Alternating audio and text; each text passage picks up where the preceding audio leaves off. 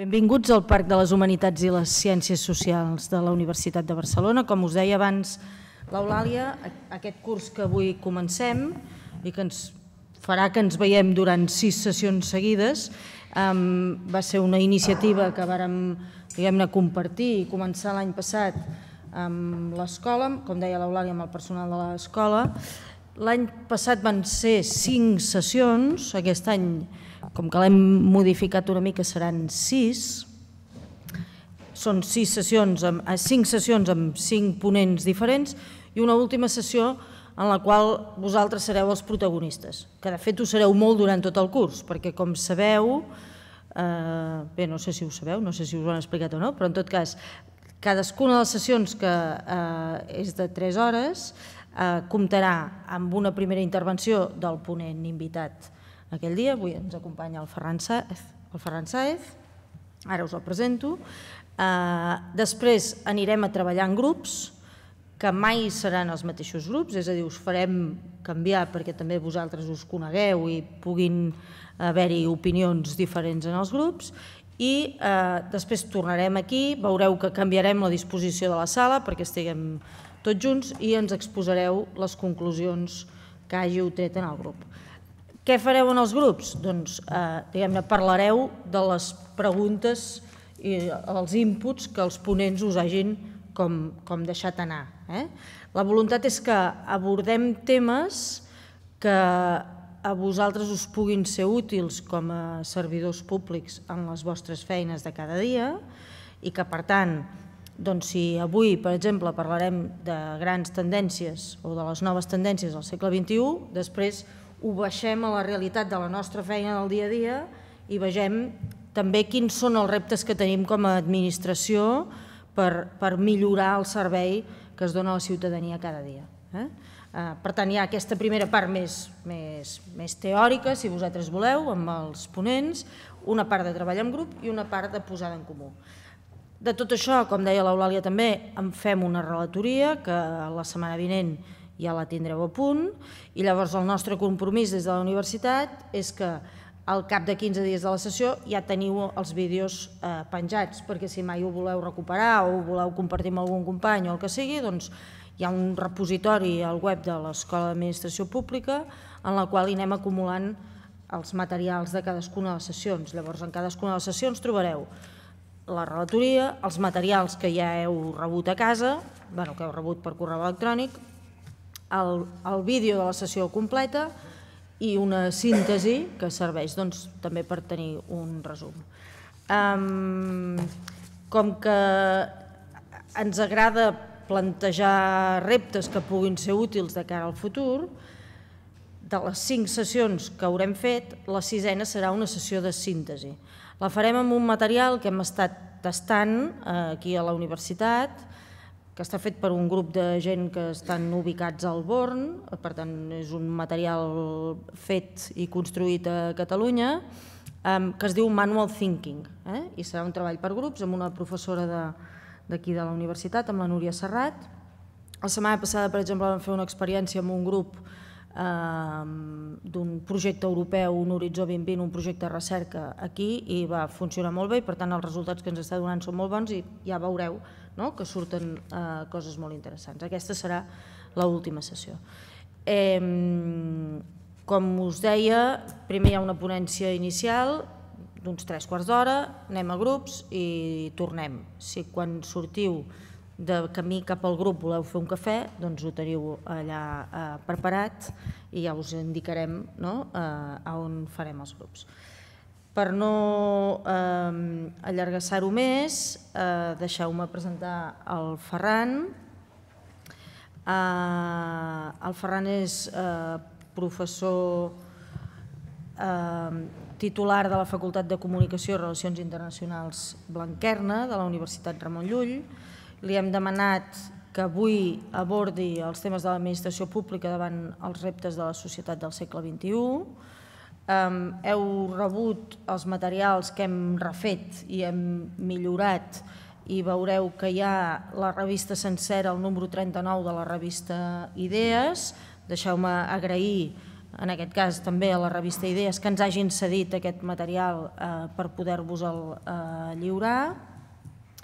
I bé, a més el Ferran doncs, segurament ja el coneixeu, és, és escriptor i és col·laborador en molts mitjans de comunicació i segur doncs, que serà una sessió ben interessant. Jo començo amb una disculpa, eh, jo sóc neuròticament puntual, però eh, avui havia d'estar per força a la facultat per una història i quan he sortit no hi havia taxis, així com sona, perquè eh, s'acabava un congrés i tothom estava agafant un taxi. Per tant, començo una disculpa. No? Bé, jo el que, de, el, el que faré referència, el que us intentaré explicar, són eh, tendències, però d'una forma molt concreta, tendències que tenen relació amb la, en general amb els canvis tecnològics i la seva traducció social i que, a més a més, tenen, una, tenen o poden arribar a tenir una repercussió eh, en, en temes d'administració pública. És a dir, jo, encara que això pugui semblar eh, una cosa molt teòrica, el que us explicaré doncs és una cosa que eh, acaba revertint, diguem-ne, en la vostra activitat professional. No? Bé, per a fer això, doncs, eh, farem una mena d'arc temporal eh, consider bueno, considerable i no considerable, perquè el primer és del, del 79, del 1979, la, la primera gran predicció de com serien les coses, eh, predicció encertada, no? perquè de, de no encertades n'hi ha moltes més, i la, el segon referent que tindrem és un estudi que a més vaig encarregar jo, eh, quan eh, amb, amb, aquest, eh, amb aquests nois, l'Adrià Aldomà i, a, i en un altre col·laborador seu, sobre la, la, Catalu eh, la Catalunya, diguem-ne, actual, en aquest cas això és del 2014, però doncs no, no, han canviat, no, no han canviat tantes coses des de llavors. No? I finalment el que veurem és si en aquest arc de, que va del 79 al 2014 unes prediccions que una, un personatge molt curiós, el que teniu aquí al, al, al dossier, no? eh, havia fet l'any 74, que es diu Ulrich Skipe, l'any 74, sí, que era, eh, això està, està al final d'un llibre, eh, allò com serà el futur o tal i qual, això està escrit probablement al 73, eh, està publicat al 74 en alemany i després el, eh, el com es diu ara, després en castellà el, el 75, i hi ha una sèrie de, de consideracions que jo considero que són molt curioses, no? i d'alguna manera el que el que jo, jo crec que caldria fer és veure, després d'haver vist, diguem-ne, quina era la predicció inicial l'any 79 i quina és, entre cometes, la, la realitat eh, del 2014, que teniu en, en, en aquest número de la revista Idees monogràfic, no? Veure per què algunes coses que consten en, aquest, en aquestes prediccions s'han eh, fet realitat i per què unes altres no. I jo crec que més o menys es pot explicar amb una certa precisió el que ha passat. No? És a dir, el, el, aquí el, el, primer que hem de, el primer que hem de dir abans de començar, eh? el primer que hem de dir és que cal distingir entre el que és diguem la, la futurologia, o, dit d'una altra manera, a veure qui la diu més grossa, no? i el que és la prospectiva, que és una cosa bastant seriosa. No? És a dir, d'exercicis de, de, de futurologia, del, de cara hi haurà eh, eh, cotxes voladors i no sé quan, tot, tot això eh, s'ha dit des de pràcticament el paleolític, no? coses d'aquestes imaginatives, no? però eh, d'exercicis de, de prospectiva que hagin funcionat, és a dir, que s'hagin acomplat, n'hi ha realment molt pocs. No? I probablement la persona, la persona que, va, que, que, que ho va encertar més sobre cap a on anaven eh, tecnològicament i quina traducció social tindria i concretament quina traducció podria acabar tenint en l'àmbit de l'administració pública va ser un senyor l'any 79, Jean-François Lyotard, en un, en un llibret que, que de fet és un encàrrec de, del Consell de les Universitats del Quebec, no, no és ni un assaig, és un informe no? Que l'original tenia 90 pàgines i que es deia l'estat del saber en aquell moment, i al final es va acabar traduint, eh, eh, perdó, es va acabar publicant eh, com la condició postmoderna. Això és de l'any 79. Aleshores, eh, una de les coses que sorprenen d'aquest eh, diguem-ne, informe que va acabar traduint-se com, com a assaig, no? és la capacitat de veure què passaria en un moment en el que es descriuen amb precisió coses que encara no havien passat. Per exemple, tot el relacionat amb la digitalització. No? Bé, us, us faig quatre pinzellades de, de, la, de, de les idees de, de Lyotard i després us, us llegeixo un, un, un, petit, un petit fragment en el que, eh, en el que perquè veieu fins a quin punt eh, diguem-ne, les, les idees d'aquest senyor doncs, eren extraordinàriament eh, precises. No? Bé, la primera idea de, de Lyotard és la idea de que els grans relats, récit en anglès, ai, en anglès, en francès, no? relat en el sentit d'explicacions de coses, no, no en el sentit de narrativitat. Els grans relats s'han acabat. És a dir, el gran relat eh, sobre la ciència, és a dir, sobre, que hi ha unes coses que són eh, científicament comprovables i altres que no i tal, s'han acabat. Això no, no havia passat l'any 79, ni Lyotard volia que passés. Simplement estava descrivint una tendència que no li agradava. Això és, és important de, de remarcar. Una cosa és descriure i l'altra cosa és prescriure. I això era una descripció d'una cosa que suposadament anava a passar. Els grans relats s'han acabat. Eh, què és un gran relat? Un gran relat és la religió, la ciència, la idea d'universitat com una mena de temple del saber que on entren per un costat entren persones que no saben res i després surten professionals, tot això s'ha acabat. I en relació a l'administració pública, no? Eh, s'ha acabat el gran relat de que hi ha una cosa eh, tremenda i immaculada que es diu estat, en el, de, de, i l'administració forma part d'aquell estat i allò mereix un respecte reverencial. Tot això s'ha acabat. Però això, repeteixo, això es diu abans de que hagués passat. Com es, com es va acabar traduint això? Doncs en, en què moltes persones van confiar més amb aquelles organitzacions que estaven desvinculades del gran relat de l'Estat, com eren les organitzacions no governamentals que no passen al propi Estat. I això, evidentment, té unes conseqüències en l'àmbit de l'administració pública, fins i, però en un nivell molt profund. És a dir, el que abans era una cosa que es considerava que era un pilar de, de, de, la, de la societat sense el qual no es podia sobreviure, doncs això, aquesta tendència va anar en, en, en el sentit eh, contrari. És a dir, hi va haver una mena de, de eh, distància amb això, que molta gent ha confós erròniament amb eh, el que s'anomena, diguem-ne, neoliberalisme. Són coses que no tenen absolutament res a veure, no? però com que sonen igual, doncs eh, de vegades es confonen. No? Una altra cosa eh, molt, molt rellevant de, de, de, de la predicció de, de Lyotard és que les, les tecnologies de la informació i de la comunicació que ell en aquell moment eh, denomina d'una altra manera, vull dir, en aquell moment no, no es diu així, encara es parla de, de coses que ara pràcticament ja no diu ningú, cibernètica, telemàtica, tal. Això és, són, és una terminologia que s'ha... O, o, per exemple, màquines computacionals.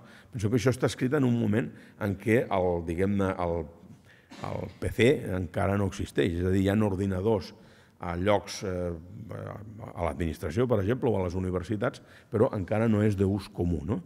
I el que diu Lyotard és les noves tecnologies, el que ara anomenaríem noves tecnologies de la informació i la comunicació, les cèlebres TIC, transformaran absolutament la naturalesa de l'Estat i crearan conflictes amb l'Estat. Eh, amb l'Estat en un sentit molt específic, amb la hegemonia de l'Estat. Exemple, Eh, exemple molt, molt senzill, és a dir, una cosa que es considerava gairebé natural, no? com era que un polític s'adrecés a la ciutadania mitjançant, això són els mèdia, els mitjans de comunicació, mitjançant els periodistes, els mitjans de comunicació, etc., doncs això, com heu vist, està absolutament eh, de capa caiguda. O sigui, el, el president del país més important del món, el Donald Trump, eh, quan vol dir, quan té alguna ocurrència, no dic idea, dic exactament ocurrència, doncs eh, fa un tuit, no? i s'ha acabat la història. No? Amb la qual cosa mm, acaba passant una cosa molt bonica, que és que és jutge i part, que ja sabeu que això és molt lleig, no? però en aquest cas és jutge i part, i no, no hi ha cap mena de possibilitat de filtre crític, i això, què, què és el que, eh, diguem-ne, ha, ha fet que, que això pugui ser així? Evidentment, un tipus de tecnologia que ho permeten. O sigui, això és, era, absolutament, era absolutament impensable en un altre, en un altre context eh, de caràcter tecnològic. D'acord? Per tant, això és una cosa molt important. No? Una altra cosa és que aquestes tecnologies de la informació i la comunicació transformaran la mateixa naturalesa del saber. I això que en aquell moment era una mena de predicció abstracta i inconcreta, ara ja sabem què vol dir. El que vol dir és que moltes persones consideren que el fet de saber com s'accedeix, com s'arriba a una informació, equival a saber. És a dir, mm, diu, escolti, vostè sap quina és la capital de Mongòlia? Diu, sí, eh, està aquí al, al Google. Diu, no, no, perdoni, jo li pregunto si ho sap. Diu, bueno, és el mateix, no? És a dir, la idea de que accedir a la, a la, al saber és el mateix que saber és una cosa que s'ha acabat imposant i els que tenim la sort o la desgràcia de, de treballar a la universitat doncs ho veiem d'una forma, eh, podríem dir, gairebé sòrdida. No? És a dir, la, la, la idea que no cal, no cal saber res, no cal res, simplement si tu tens el, el Google a la mà i el, i el telefonet a la mà, s'ha acabat, eh, acabat aquest, aquest problema tan tonto del coneixement. No? Per tant, això ha, ha modificat el, el, el mateix saber i això té repercussions no només en la universitat, sinó que té eh, repercussions amb la, amb, amb l'administració i, amb, i amb, fins i tot amb la vida quotidiana. No? Una altra, una altra eh, predicció que es diu en aquell moment, eh, i que en aquell moment sona molt estrany, és que és, literalment diu així, el saber serà mercantilitzable o no serà. És a dir, el saber podrà ser, entre cometes, venut, venut en el sentit de ser eh, mercantilitzat, sigui a través, eh, a través de la publicitat, és a dir, no, no forçament pagant, sinó a través de la publicitat o pagant directament o no serà. És a dir, avui en dia la, la idea aquesta d'un saber eh, humanístic deslligat absolutament de, de, de, de paràmetres eh, quantificables econòmicament s'ha acabat. És a dir, la, per què, que, quines, quines, en quines eh, plataformes eh, ens podem comunicar? Doncs en aquelles que són rendibles, si no s'ha acabat la història. No? I quines coses eh, prosperen? Doncs aquelles que són rendibles, les altres no. I si algú vol la prova trista del nou, doncs només cal que miri eh, quantes eh, facultats o quantes, bueno, sí, facultats no? de, de humanitats, filosofia, filosofia i lletres, etc. Hi havia, posem per cas, l'any 79 i quantes n'hi ha a, a dia d'avui. Es poden comptar amb els ditets de la mà, diguem-ne. No? Per tant, aquest, totes aquestes, aquestes prediccions eh, van, van funcionar eh, d'una forma, diguem-ne, eh, dramàticament eh, clara. No? El... Això que no, no ho havia.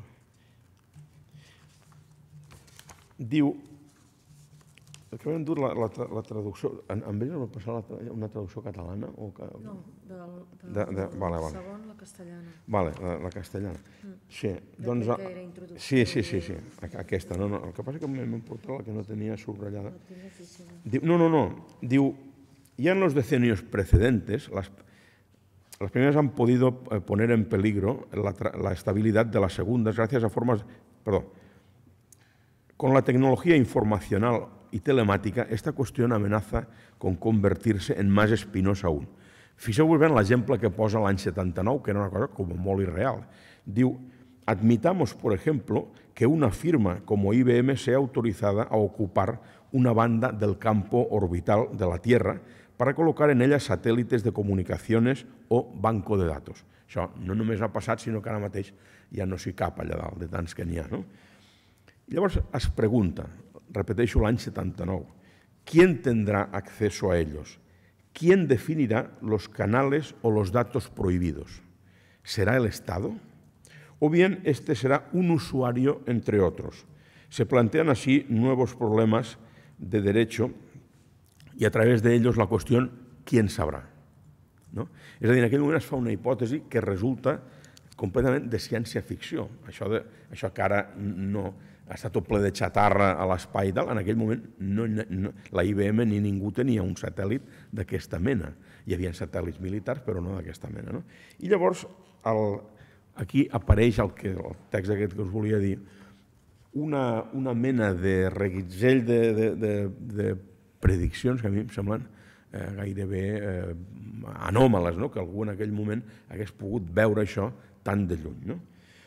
Diu, la transformación de la naturaleza del saber puede, por tanto, tener sobre los poderes públicos establecidos un efecto de reciprocidad tal que los obligue a reconsiderar sus relaciones de hecho y de derecho con respecto a las grandes empresas y más en general con la sociedad civil.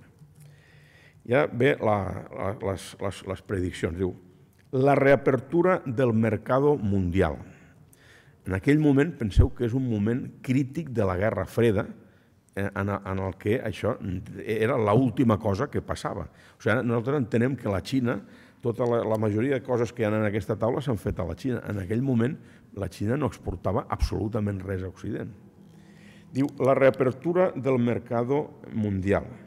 La, reanuda, la reanudación de una competencia económica muy viva, que en aquell moment no existia. És a dir, no hi havia competència entre el Comecon, diguem entre, entre el que era la Unió Europea dels països comunistes i la Unió Europea. No? La desaparició de la hegemonia exclusiva del capitalisme americano. En aquell moment això era una bogeria, és a dir, no, no, no, no tenia res a veure amb la situació actual. El declive de l'alternativa socialista. Faltaven 10 anys justos perquè caigués el mur de Berlín. I diu literalment eh, la chute, eh, en francès, la, la caiguda, ¿no? el declive de la economía socialista, la apertura probable del mercado chino al comercio. Repeteixo que això en aquell moment sonava a acudit dolent.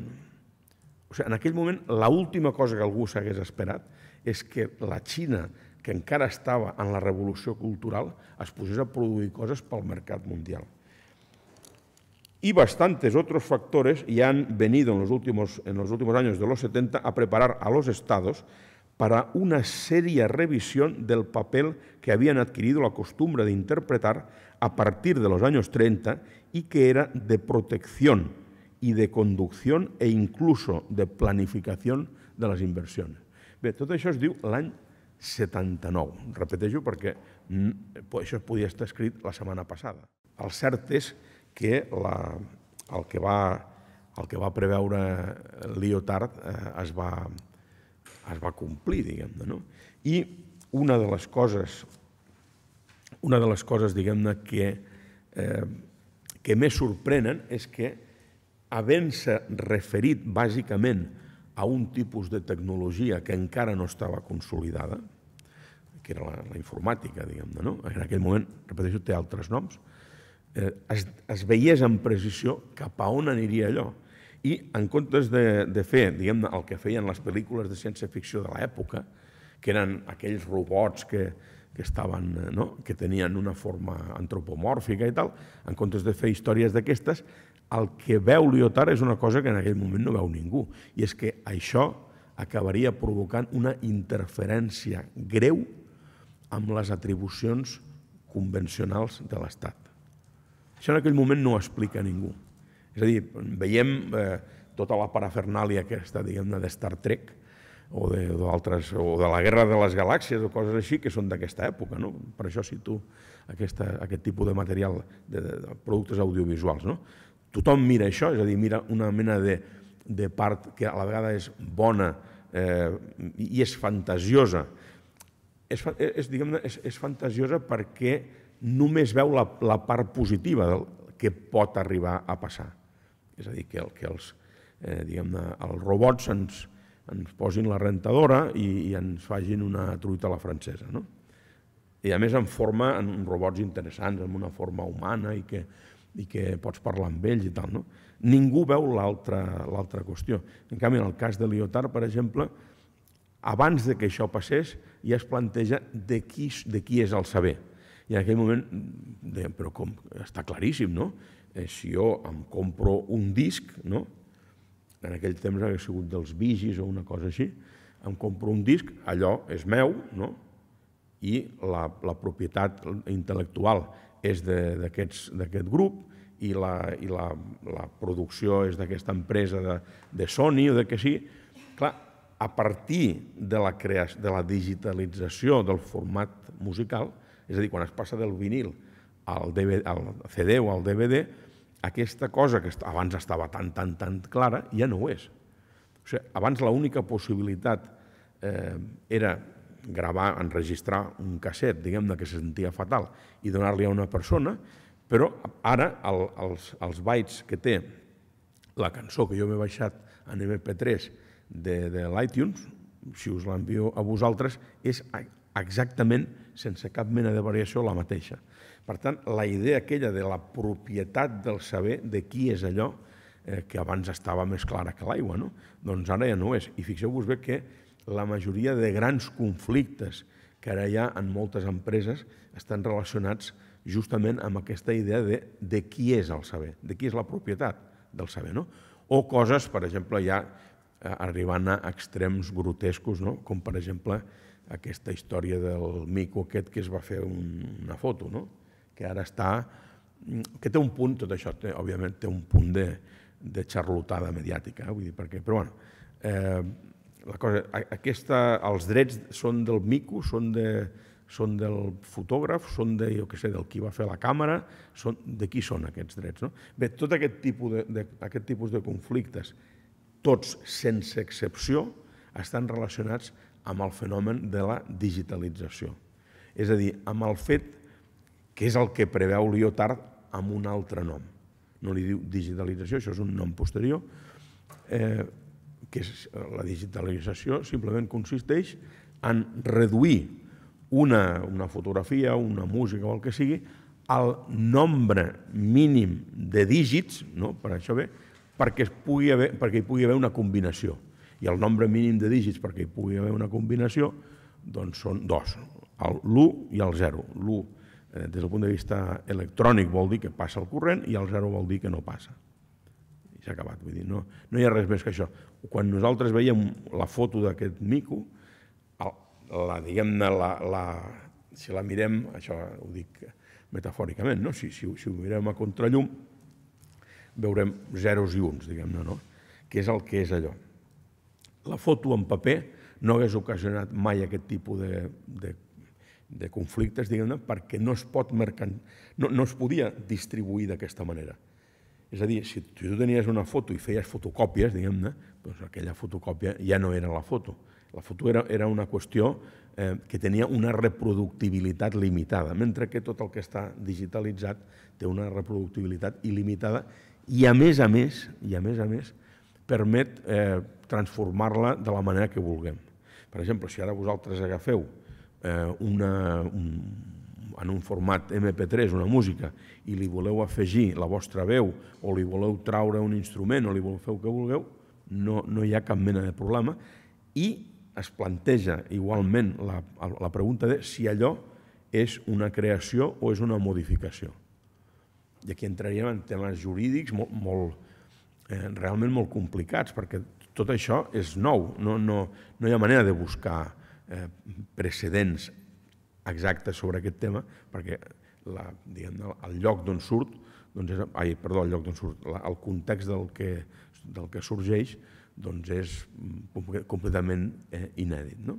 Bé, aquesta, aquesta és la, diguem-ne, la, la manera amb la que Lyotard eh, veu el que passaria. En aquell mateix moment hi ha alguns altres autors, eh, com per exemple Alvin Toffler, que és, Alvin Toffler és probablement el futuròleg més, més fracassat de la història, però que en el seu moment va tenir una, un èxit espectacular perquè deia el que la gent volia sentir.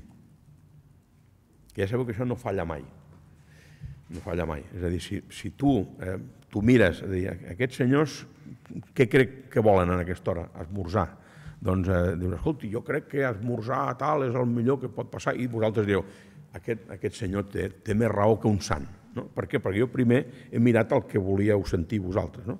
Doncs bé, l'Alvin Toffler ràpidament va dir, escolti, això del càncer i tal, ja pots comptar això, això és una tonteria que ho solucionarem en dos, en dos ratos i tal, eh, aquesta, la contaminació, ara farem uns cotxes amb unes bateries, de no sé què. Clar, això era un discurs molt sedant, no? és a dir, la tecnologia com un factor de millora absoluta de la vida de, de les persones, però resulta que ja veieu que no, no ha estat així. No? En canvi, Lyotard va tenir molt mala premsa, primera perquè deia coses que no li feien gràcia a ningú, i segona perquè era en aquell moment, estem parlant de l'any 79, no ser marxista a França, doncs era eh, pràcticament una heretgia. No?